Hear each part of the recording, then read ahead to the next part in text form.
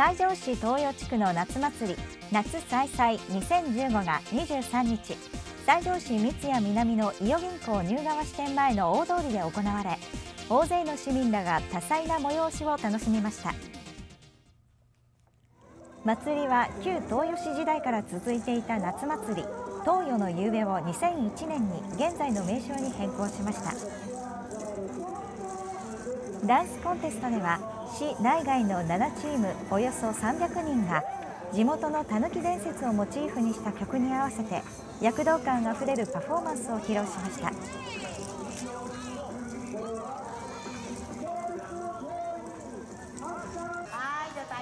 会場では市民らが互いの手首を握りしめて1分間以上つながるイベント一列一体でギネス記録更新を目指しましたが達成できませんでした。西条市を拠点に活動しているシンガーソングライターレーモンド松也さんらのライブや子どもたちのダンスステージなども行われました。